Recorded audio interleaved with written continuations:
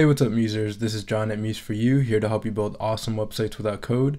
And I'm happy to announce that the new version of Adobe Muse has been released, and it's version 2015.1, and it does include responsive design, uh, among other features. So I'm going to open up Adobe Muse. And as we can see, it's a little bit different. It has kind of this orange uh, intro, this picture. And I'll go to File, New. And I'll click OK and I'll click on home and here we have the the home page. Uh, you'll notice there's more panels here on the right initially and I'll go ahead and open the documentation for the new release and I'll read each new section and I'll go over each section uh, very quickly. So the first one is responsive web design. Uh, you can now create unique responsive websites for different screen sizes without any coding Adobe Muse provides a blank canvas without restrictive templates or grids for designing responsive websites. In the earlier versions of Adobe Muse, you could only create adaptive sites, that is, websites that adapted to the browser's widths of different devices. The page and the page elements were not fluid or did not scale for each browser width. The page layout was fixed for specific browser widths. And it goes on to say a few more things, but uh, basically, I'll I'll show you really quick what that means. Uh, so we have, let's say we have a rectangle and I'll bring in my swatches. Let me import a swatch library. So I have some colors here. So let's say we have this rectangle here. And if we notice up here, we have the, the breakpoints uh, bar here. And right now we're at a, a width of 960. So if I right click and I add a breakpoint, let's say I add a breakpoint for a tablet, I'll say 768 for the breakpoint width. Uh, we now have this breakpoint width and I can right click and add a breakpoint and I can say 480 for let's say mobile devices. Uh, so what this does is that I have three different screens that I can design my website on and they'll be responsive. So when I shrink the browser, once it gets to the 768 breakpoint, um, it'll start using the elements in this section. And once it gets to the 480 breakpoint, it'll start using the elements in this section. And you can also hide elements for different breakpoints. So I have this rectangle here and I'll actually make it 100% uh, width. You can do responsive width or you can stretch to browser width. Uh, so I'll stretch it to the browser width. And let's say for the 768 section, um, I right click, I can right click on the element and I can hide in the breakpoint. So if I go to file, preview page and browser, and I shrink my uh, browser width, we can see at 768, this is about 768 uh, pixels wide um, that element disappears because we hit it in that breakpoint. And then when we get to the mobile version, which is at 480, uh, the breakpoint is at 480, that element comes back. So that's just a quick kind of overview of that. Uh, now scroll effects are not enabled with responsive design because it would be a bit too much for devices to have scroll effects and response and uh, excuse me and scroll effects. Uh, so that's just kind of a quick overview. I am going to create uh, an entire video on how to create a website, a, a responsive website in Adobe Muse. Um, but there is plenty of material out there on how to start with uh, the responsive um, website in Adobe Muse. And basically, it's just that simple adding breakpoints and designing your site to those breakpoints so that, so that your website looks good uh, when, when you change the browser width and it hits those breakpoints. Um, and there's also uh, some text breakpoints. You can alter the text and how the, uh, the text changes on the different breakpoints. Uh, but I'll go over this in, in a lot of detail in a later video tutorial where, where I show you how to create an entire website, um, an entire responsive website in Adobe Muse. Okay, so that's the first point, and I'll go to the next feature, which is, um, oh, this is a starter files here. So Adobe Muse has some starter files that you can start with uh, to start playing with responsive design, and I think that's in that first pop-up screen when you first enter the new Adobe Muse. Uh, Creative Cloud libraries in Adobe Muse. Uh, this is fairly simple. Um, to, to access access the create, Creative Cloud library, uh, you just go to Window and then you go to um, CC libraries right here. And let's say you have some libraries. So I, here I have some colors, um, or I have a, a color swatch library. And if I wanted to, let's say, use the swatch on another computer, I could sync it with my Creative Cloud uh, simply by clicking this button here. Right now I have library syncing disabled, but I could sync it with my um, with Creative Cloud, and if I was using uh, Adobe Muse on another computer, I could access my my assets here, my library assets, and here I have some swatches, so I could access access these swatches uh, through the Creative Cloud.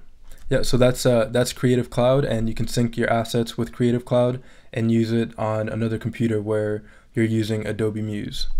Okay, so I'll go to the next one. Uh, the next one is state transition.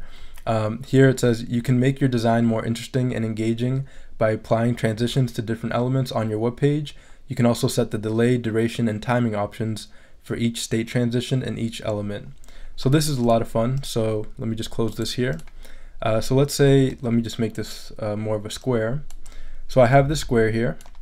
And let's say on rollover, I want the color to change. Uh, so we can we can change this really quick.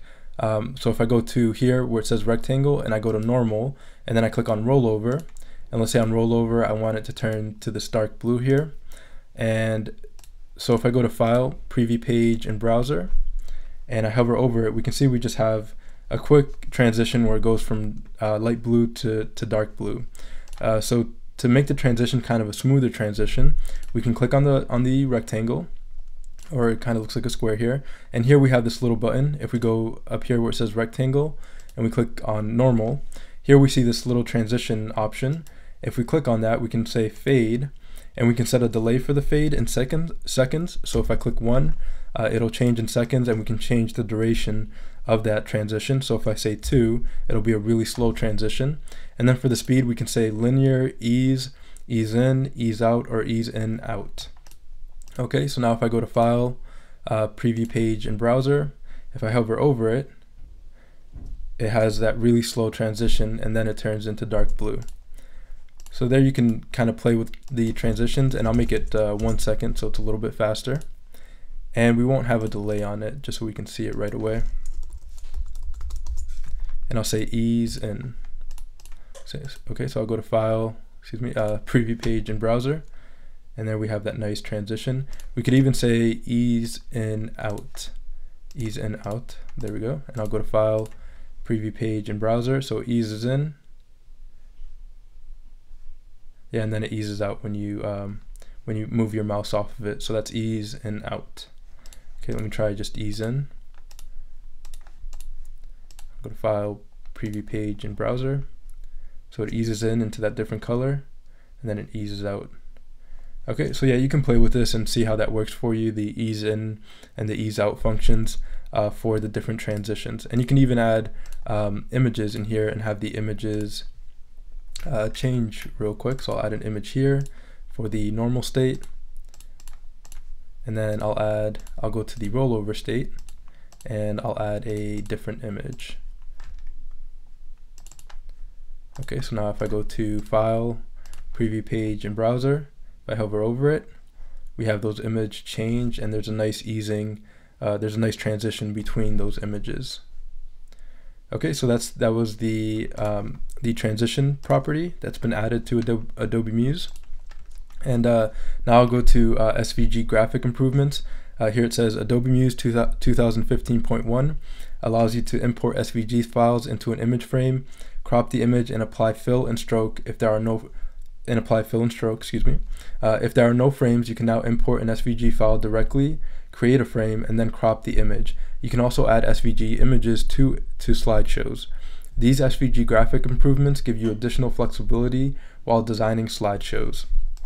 Okay, so uh, I'll just add an SVG image really quick.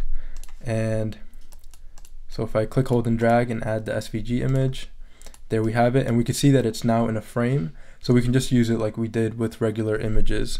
So if I click in here with the crop tool and I resize it, um, it, it has an image frame and it has the image inside the image frame. So it's just basically the SVGs are now more like images, which is really great. Um, and you can also add SVGs to, um, to slideshow. So if I go to object, insert widget, and I go to slideshow, I'll create a basic slideshow. And here I have a slideshow. I'll just move it with the caption and we'll center it. And then I'll just add a few SVG images. I have a few here. I'll click open. and we'll just let it load there and then I'll go to file uh, preview page in browser and if I go through it we now have those SVG images in the slideshow so that's a lot of fun it's just more um, compatibility with SVG which is really great okay and the last one here is enhancements in Adobe Muse 2015.1 in the swatches panel you can now import and export swatch libraries through the context menu Adobe Muse 2015.1 supports rotation detection in EXIF content. Images that have rotation information embedded in them will now be rotated to, la to landscape when placed. You can now create empty image frames by deleting the image content of an existing image frame. Double click an image you have placed and press delete. The empty image frames will the empty image frames will have placeholders. Okay, so that's really great. So let's try that actually. So let me delete this um, slideshow and I'll add the image frame or the image. I'll double click, delete there. And now, yeah, we have a placeholder for that image or yeah, it just acts as a placeholder. So I think that's what that means, but um, I will definitely look more into that. But I believe that's what that says there. And I didn't read the Creative Cloud libraries. I'll just read this uh, first par paragraph. Uh, it says Creative Cloud libraries powered by Adobe Creative Sync technology uh, enable you to access your favorite assets from home, office, or even when you're on the go. Create images, colors, and more and more using Photoshop, Illustrator, or or mobile apps like Adobe Capture CC. Access these assets across other desktop and mobile apps for a seamless creative workflow. And then there's more information here uh, as well. Uh, so that's it for the updates for the new Adobe Muse. It's Adobe Muse CC 2015.1. Uh, it was just released, I believe today or maybe last night, uh, but I, I just updated it and yeah, so um, you can get the new update through the Creative Cloud or you know however you get the update. I believe it's through the Creative Cloud. Um, that's how I downloaded it. Um, but yeah, there's a lot of great features. There's the responsive design, there, there's the transitions, and there's more uh, SVG uh, compatibilities. Uh, so that's it for this video tutorial. Um, I'm really excited for this new release. I will be making a an entire video on creating a website with responsive web design in Adobe Muse. Yeah, responsive web design in Adobe Muse. So that's it. Thanks for watching. And again, I do this to help you build awesome websites without code. Uh, you can check out museforyoushop.com. Also in the show, show more section below are links to other resources and links to museforyoushop.com. So again, thanks for watching and I'll see you in the next video tutorial. Thank you.